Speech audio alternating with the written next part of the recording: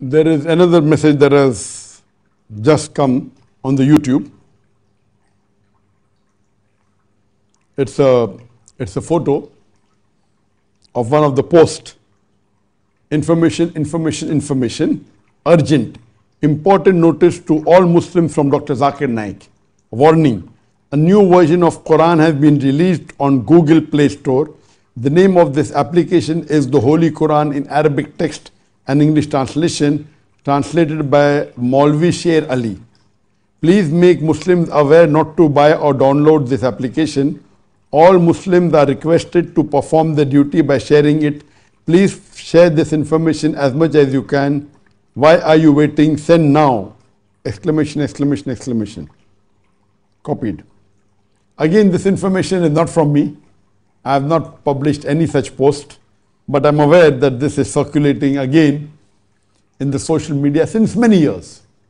And since we have a large collection of various English translations of the Quran, we have this copy of the translation of the Quran by Maulvi Sher Ali. And I'm aware that this translation is by the Ahmadis.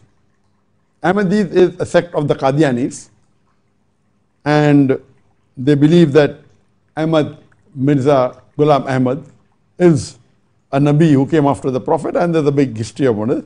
But this is not the mainstream Muslim, they don't belong to Ahl Sunnah wal Jamaat.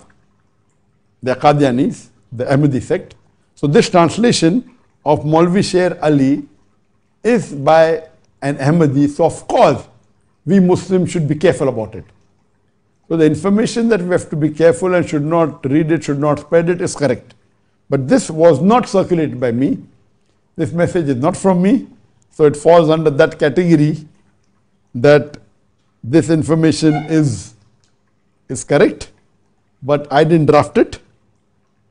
The warning is correct, and we should not read it, should not spread it because it's not a translation from Ahl Sunnah wal Jamaat. It is by Qadiani, it is by Ahmadi, which is not on the Quran and Sunnah.